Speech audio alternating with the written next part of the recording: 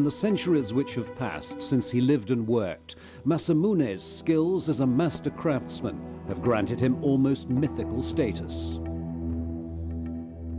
He was the most famous swordsmith of medieval Japan, perhaps of all time. His skills are appreciated most of all by today's master sword makers, who know how much skill is required to produce the perfect blade. Can the centuries-old skills of Masamune be recreated today? By watching a sword take shape through each extraordinary stage of the forging process, we can reveal what made Masamune the supreme master.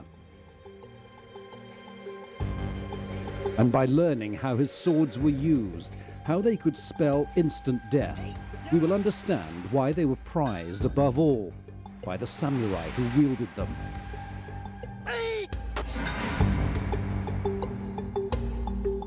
Masamune's Japan in the late 13th century was a land where fighting skills were of vital importance. Just across the Sea of Japan, a huge Mongol army was poised, ready to strike.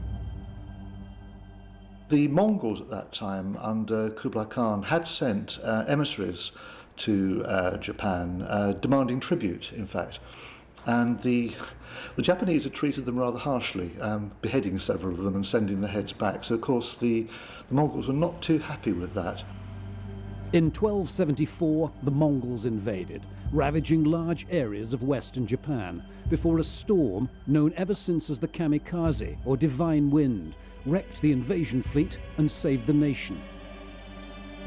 We can be certain that, along with all Japanese, Masamune would have offered thanks to the gods. I was born in a time of great conflict. When I was 11 years old, the barbarian invaders made their first attempt to conquer our sacred land. But with the help of divine wind, they were defeated.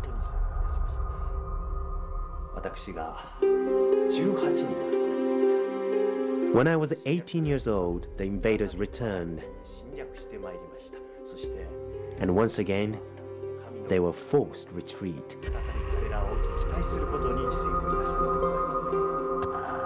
But we could not be certain when they would try again. At Kamakura, just south of Tokyo, and now the site of the world-famous giant Buddha, Japan's finest swordmakers worked around the clock.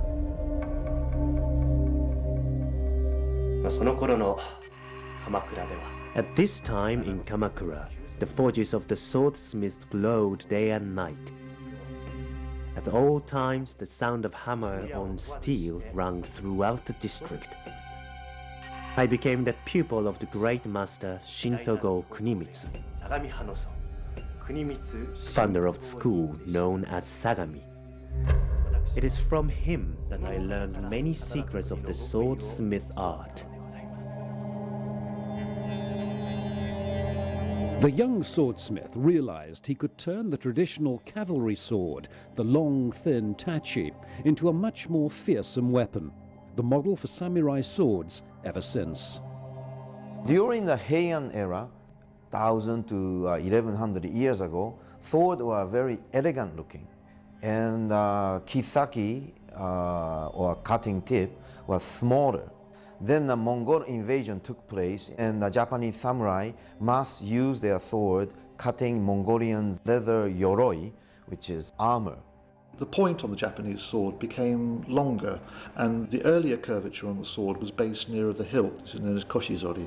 The tendency then changed that the curvature moved more towards the middle of the blade in what is called torizori, giving a much more even curve. And this is far, this is far better, far more suitable for fighting from foot than horseback. Cutting the armor was much easier. And uh, Masamune contributed that shape and also the uh, function. To slice through thick leather, his swords had to cut like a razor.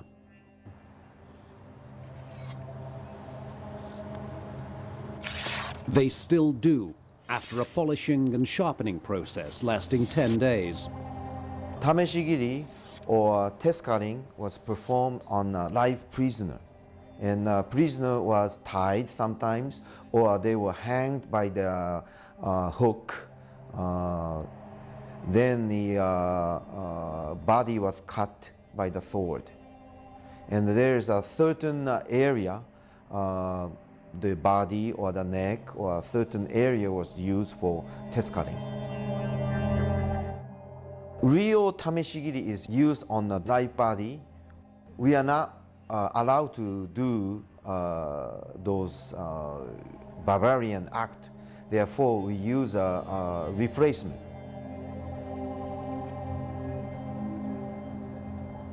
Since we cannot use the uh, live body, cutting bamboo is a resemble to cutting vertebrae of our human body.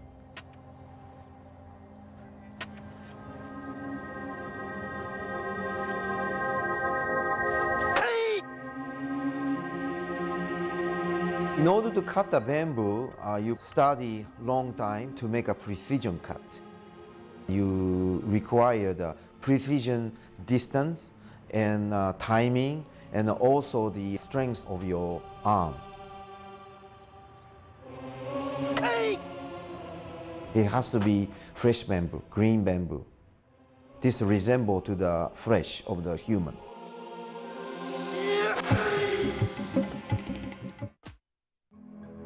The creation of every true samurai sword begins in the same way, with a process developed even before the time of Masamune.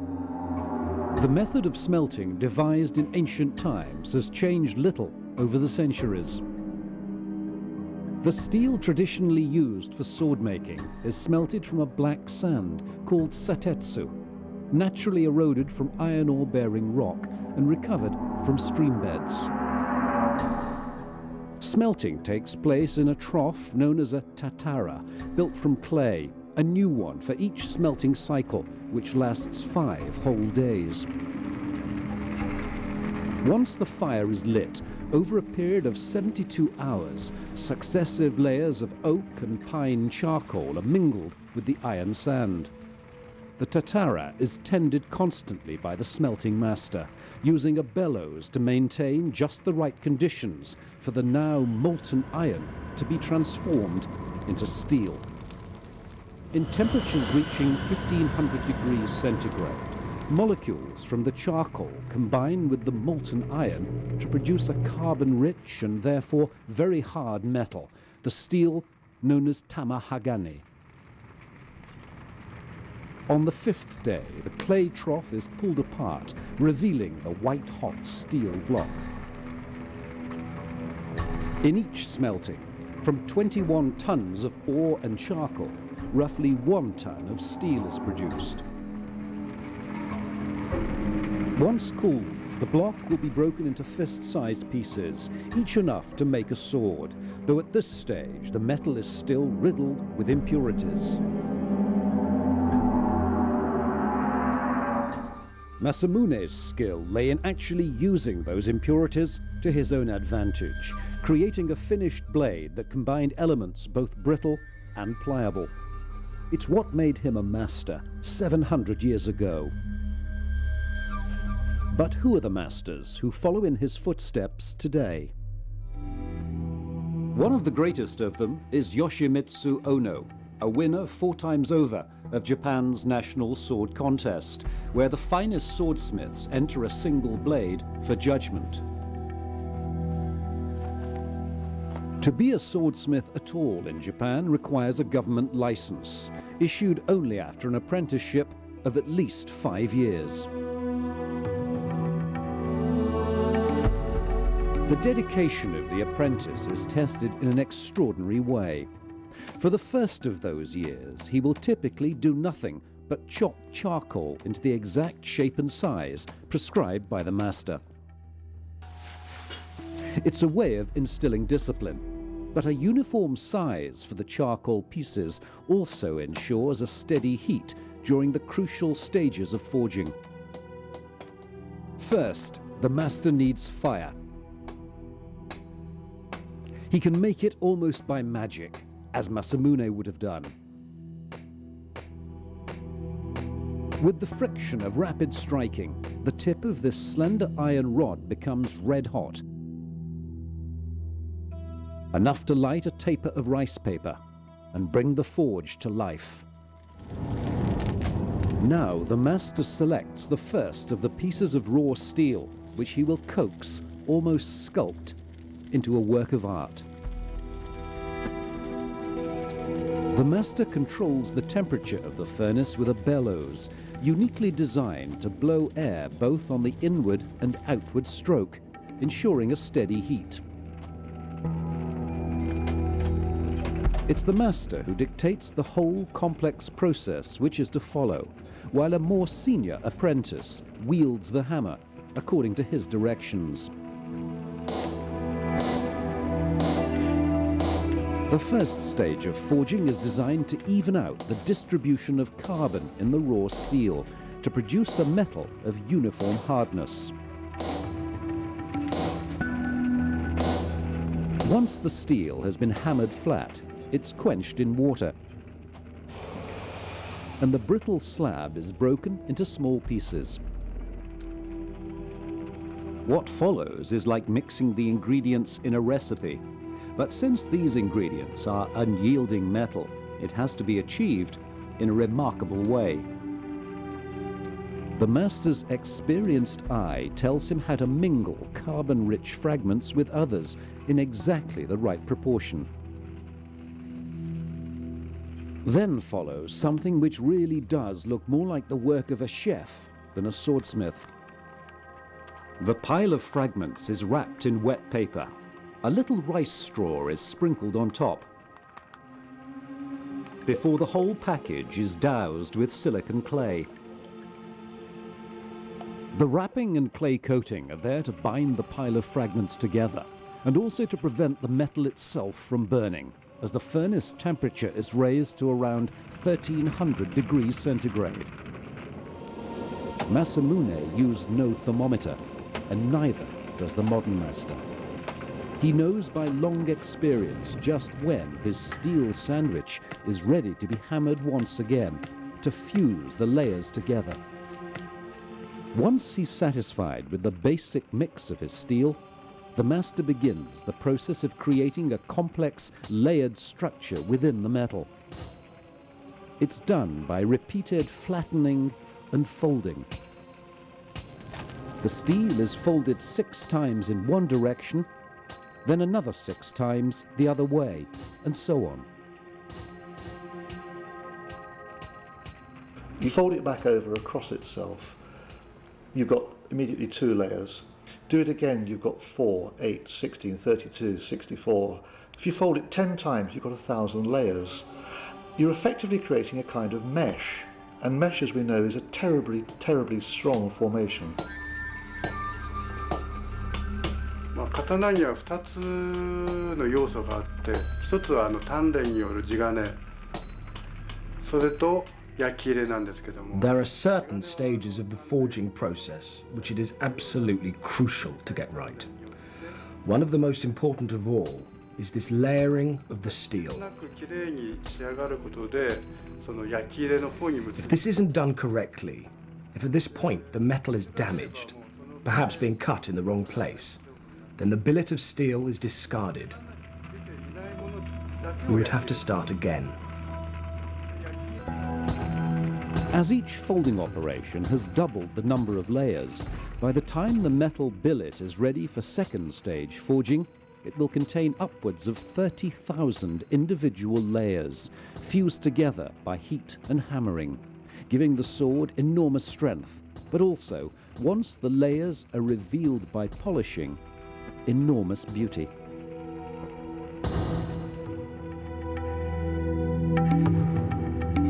It's one of the ironies of the samurai sword that an object accorded such spiritual power, prized by the connoisseur, is essentially a tool for killing. If not now, then certainly in Masamune's time. 私の創作してまいりました刀担当は人々に My swords and daggers have been called beautiful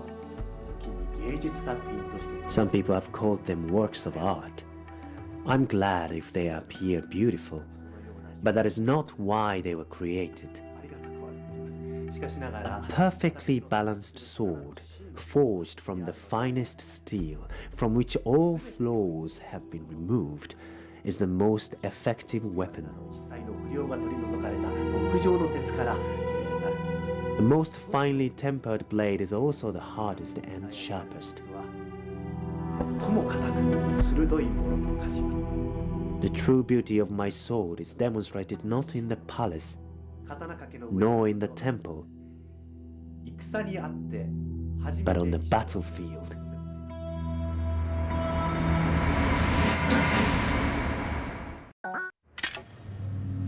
The most familiar samurai sword is the gracefully curved katana. They were often individually tailored to the height and strength of a customer. But also special forms were made for special tasks. This is a tachi. Uh, tachi means a sword with a deeper curvature. And how you hold it is this way, or sometimes one hand, two hands. Ryote and katate. And uh, two hands are used for leverage. This is a tachi about a thousand years ago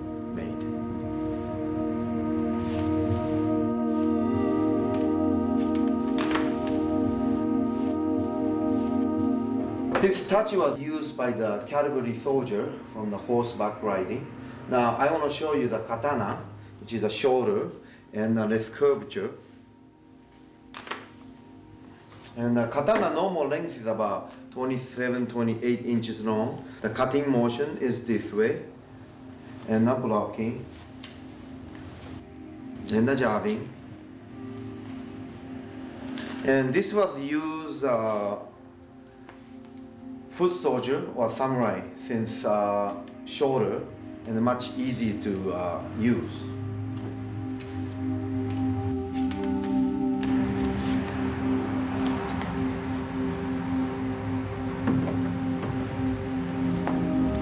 This short sword is called wakizashi, and uh, approximately 450 years old. And one side is a katakiri hazukuri, which has an edge, and the other side is a hirazukuri, flat made. Often used by the bandit and uh, pirate. And the one hand is used often while he's shooting the Tanegashima musket gun or grabbing some object, uh, much easier to use.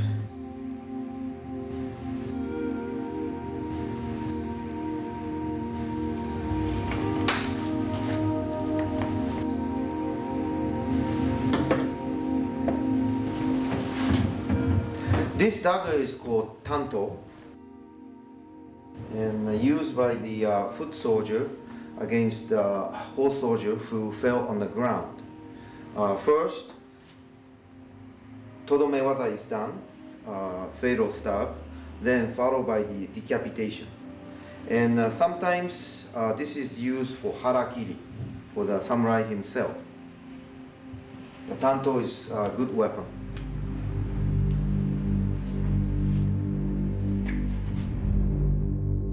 The few dozen surviving blades believed to have been forged by Masamune himself, most of them are daggers, or tanto. This is one of them, a priceless treasure held at the Hayashibara Museum in Okayama. But what distinguishes blades of the great masters from all the rest? It takes an expert eye to judge. The answer lies almost at microscopic level. Steel, which to the untrained eye all looks much the same, contains barely visible particles which give a clue to its composition and the skill of the smith who forged it. The key characteristic unique to the samurai sword is what's called the hamon, the gently flowing pattern just behind the cutting edge. It proves that the blade has been correctly tempered, but it's also where the swordsmith becomes a true artist, creating his own signature patterns. Some are said to resemble clouds. Others, the petals of a flower. It's that which makes the blade of a master worth more than its weight in gold. And so cleaning this 700-year-old Masamune blade is something which also requires the skill of a master. Careful never to touch the blade with his fingers, the swordsmith removes the habaki, the metal collar which secures the blade in its scabbard. Then he carefully applies a powder called uchigomori, made from stone, pulverized almost to dust. The powder acts as the gentlest possible abrasive to remove any traces of rust which may have developed from airborne moisture. Finally, to protect the blade until it's next examined, the smith applies a thin coating of oil, tsubaki. The swordsmith treats the tanto not just with professional care, but a kind of reverence, a clue to the mystique surrounding the master, Masamune. But how easy is it to tell his blades from the others? At London's Victoria and Albert Museum, they have a sword which may or may not be the work of the great master. It's been at the museum for almost a century. Masamune blades are nowadays hardly ever auctioned, its value, if it were, around half a million pounds. Although it bears Masamune's name, sword dealers and appraisers began faking his signature three centuries ago. I think sometimes you have to go with a gut reaction. And the more that I look at this blade, the more that I see that's going on there, the incredible beauty within the steel, the subtlety, the the grain of the flat of the blade, the what's happening within the hamon itself. It couldn't be made by anyone else than a real master, and the only real master at that time was in fact Masamune. So yes, I mean I would, I would probably going out on a limb on this one um, to say that it's by Masamune, but I, I feel it is. Although the hamon created by Masamune have inspired almost poetic descriptions, they were put there for a reason. The broad hamon, the tempered edge, which is a hallmark of my blades, means that if the blade is damaged or chipped in combat, the sword can be reground.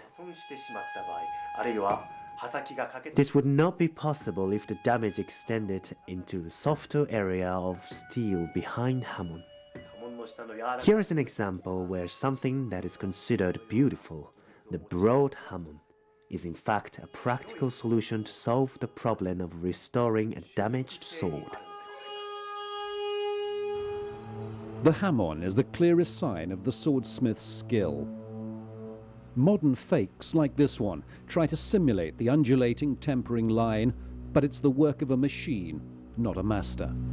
And the material is inferior metal used for the uh, making of the car, automobile, something like that.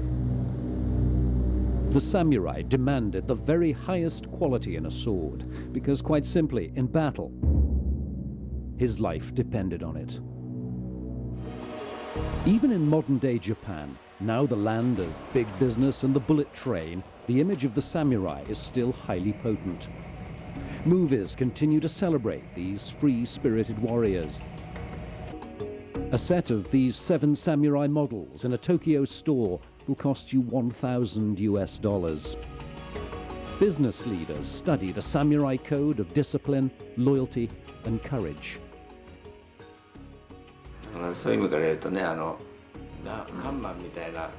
I think that sometimes in the West, you have a wrong idea about the samurai, almost as if they were gunmen, outlaws. It wasn't like that. A very important part of the philosophy that goes with the samurai sword is that it could just as well remain in its scabbard. It doesn't have to be used. Then, it's a symbol of concealed or latent strength. あのシンボルみたいなもんであったわけなんで。Samurai enjoyed a privileged status. Imagine not the crowded streets of modern Tokyo, but ancient Edo, where it could mean death to even touch a samurai. Let's say samurai walking in the street and the townsmen or farmers or a civilian touch their scabbard even. Uh, they were, samurai were allowed to cut them on the spot. Oteuchi, or instant execution. And samurai is not punished. And this was done until late 1860s, not too long ago. It was uh, approximately 140 years ago. This kind of practice was done by the samurai. Here, as nowhere else in the world, the sword is treated with a respect close to worship, as a gift from the gods. In one of the great Shinto legends, the storm god Susanoo, brother of the sun goddess, is called to do battle with a fire breathing serpent. Eventually, he slays the beast and discovers inside one of its eight tails a magical sword known as Kusanagi. Still today, the Kusanagi remains one of the three items of imperial regalia, the nation's crown jewels. The sword and the skills it takes to produce it have long been revered in Japan. Though within living memory, those skills came close to being wiped out. In 1945, as the Allies celebrated victory, much of Japan lay in ruins. On the 2nd of September, aboard the battleship USS Missouri, General Douglas MacArthur presided over the ceremony of surrender. I now invite the representatives of the Emperor of Japan to sign the instrument of surrender at the places indicated. Let us pray that peace be now restored to the world and that God will preserve it always. These proceedings are closed. Immediately after the signing, the Americans issued an extraordinary decree. On occupation, it was a law that every sword had to be surrendered um, because they were regarded both as weapons, but perhaps even more than that is the fact that the sword is one of the three symbols of the emperor the mirror, the jewel, and the sword. Um, so the sword was inextricably linked with uh, Japanese imperialism. So the sword was completely and totally banned. All swords had to be surrendered. Um, they were gathered up, they were taken away in trucks, they were taken away to be melted down into cutlery. Mitsubishi Company apparently had them taken away. I would also say that, of course, not all swords were surrendered. Um, uh, as, as part of these edicts issued by the Americans, many, many famous swords were, were locked away because people were aware of what happened to them. Post war Japan turned its back on all things military. Sword making was banned until 1953, and after that, only allowed with a strict limit on how many blades each smith can produce. Eh, By law, swordsmiths are limited to producing two swords per month. But you have to bear in mind that for every sword that I complete to the final polishing stage, I will discard probably five blades that have not turned out as well as I wished. The limit on sword production ensures that there can be no mass production, though it's difficult to see how the complex and lengthy process could be hurried. This section, through a blade, shows how two very different types of metal are used. The paler outer jacket is hard carbon-rich steel, which can be sharpened like a razor. The dark inner core is softer metal, to absorb the shock of impact to prevent the blade snapping. To achieve this, the smith must fuse together two pieces of steel with just the right carbon content. He starts by beating what will be the outside of the blade, including the cutting edge, into a rough U-shape. At this stage, the sword is still no more than this lump of metal. The iron bar it's attached to is merely the handle the smith needs to work with. A billet of lower carbon steel, the core of the blade, has been shaped, ready to fit inside the jacket. Once again, liquid clay is used to prevent the steel burning.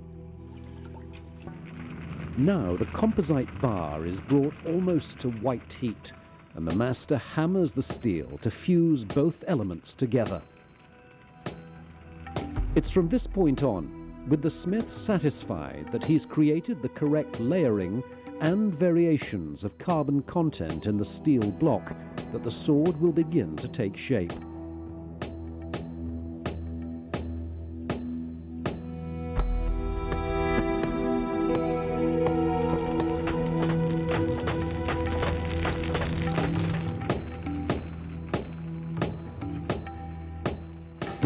Is drawn out to roughly the length that's required. And then the first crude cutting tip, the kissaki, will be marked out with a few swift blows with a chisel.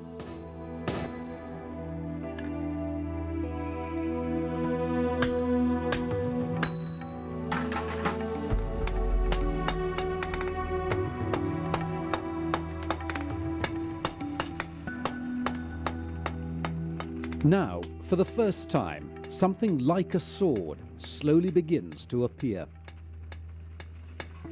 Blow by blow, the smith starts to flatten the steel bar, producing what will be the curved cutting edge.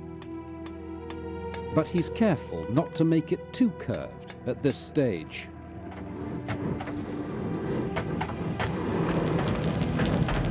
Once the blade has been hammered into a recognizable sword shape, there comes the most remarkable stage of this whole process, one where the master summons all his skill and experience to add his own distinct hallmark to the blade.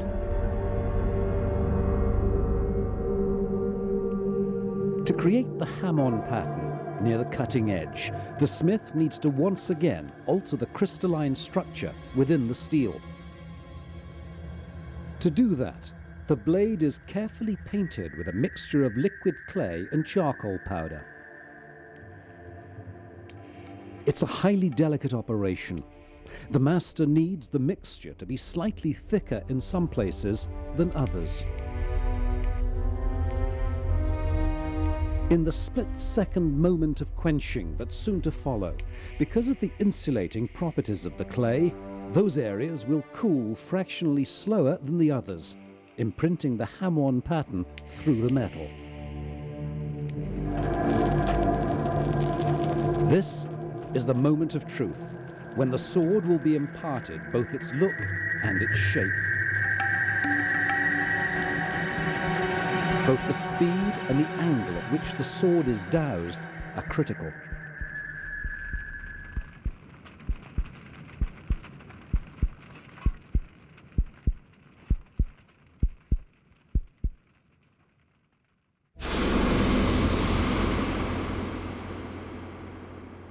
The very instant of quenching, something remarkable is happening. Watch closely as the sword begins to bend.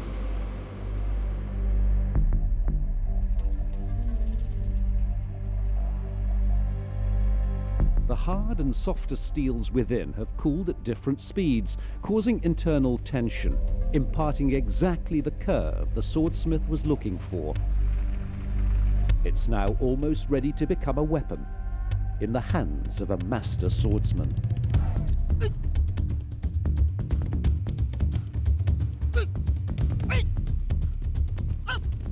The correct way to use a samurai sword is governed by traditions every bit as old and rigorous as the method of making it. This is Iaido, the discipline of drawing, striking, and then sheathing the sword.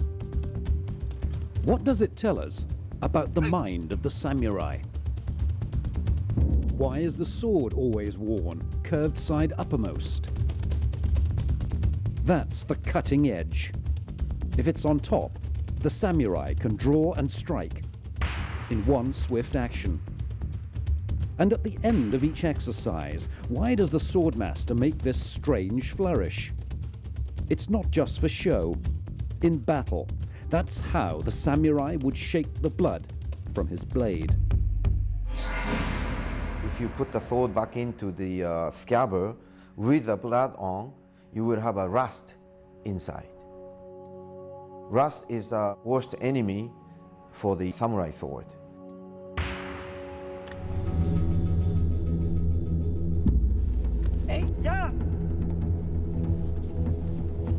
With blades that are razor sharp, little wonder that when two swordsmen practice their art, they give each other plenty of clearance.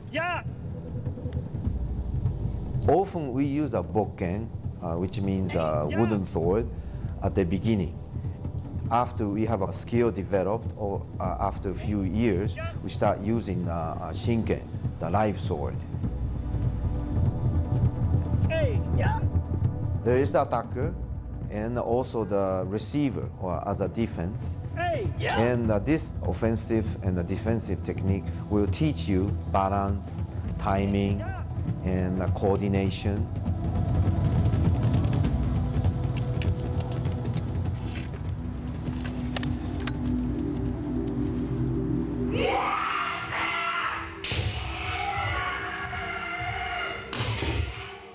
Is something that offers some clue to the fury of samurai combat. Kendo, literally the way of the sword, is the closest we now come to seeing samurai swords being wielded in anger.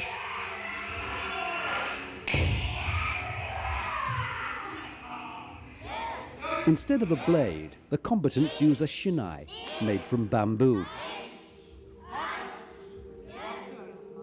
And though it looks fast and furious, samurai combat training, kenjutsu, was even more arduous. Kendo and the kenjutsu are different.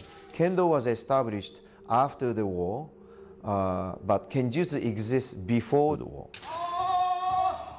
Kendo is more like a sports oriented. Uh, many actual fighting methods were forbidden, plus the uh, limited time was given to fight in a kendo. However, kenjutsu uh, training, we don't have a time limit. There is no judge even. One, two, one, two, three. You try to block. Try to do the same thing. Over your shoulder, over your shoulder. Clear it, clear, yeah, clear. Okay, do that katate uchi tsuki chokuzugi to the face. Yeah, then the blocking to the side. Our kenjutsu style is uh, very similar to the live sword used in the battlefield.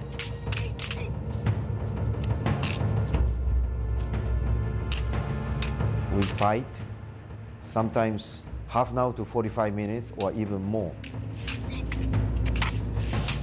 until one gives up from exhaustion. Whoever survives is a winner.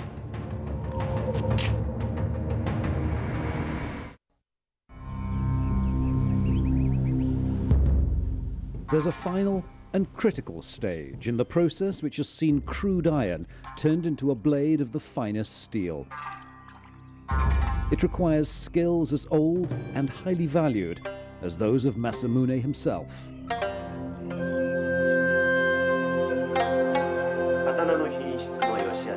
It is in the forge that the sword is conceived, that its future character is determined. But it can be said that it is not until the polisher has done his work that the sword is truly born, that its nature is revealed. I have respect for the skills of the sword polisher. He must understand just as well as I the potential of the steel, the hidden beauty which is there to be revealed.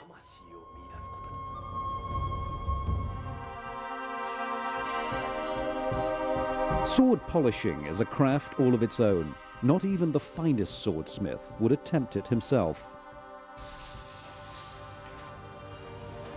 Okisato Fujishiro is a master in this field, the third generation of his family to follow the profession. When he first sees the sword, it's covered in fine scratches, and none of the tempering patterns is visible.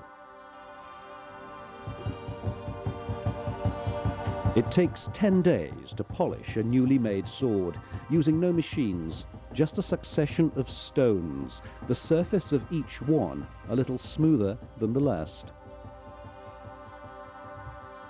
Once all hammer marks and scratches from the forging process have been completely removed, the precision work begins.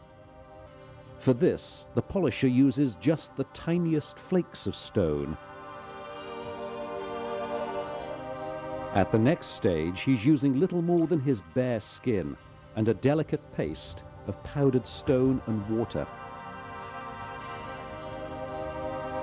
Now the vision of the swordsmith will finally be revealed, with the tempering pattern, the hamon, visible at last, exposing the soul of the blade.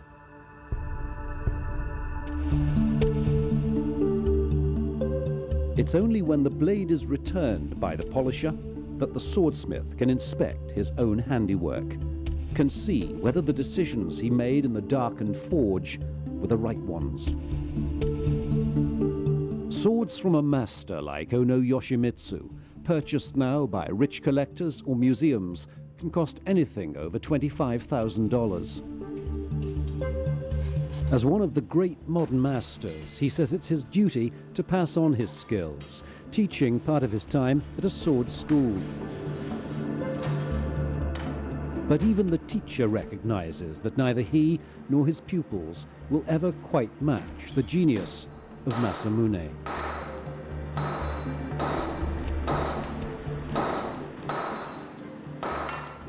There are many reasons for that.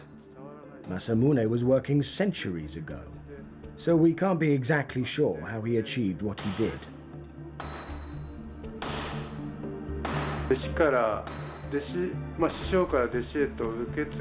Of course, techniques are passed on. But each time the knowledge is transferred from teacher to disciple, it changes, maybe ever so slightly. け継がれていくわけだから。ここでやっぱり。So we can never say for sure this is how he did it. 完全な形に伝わっていない。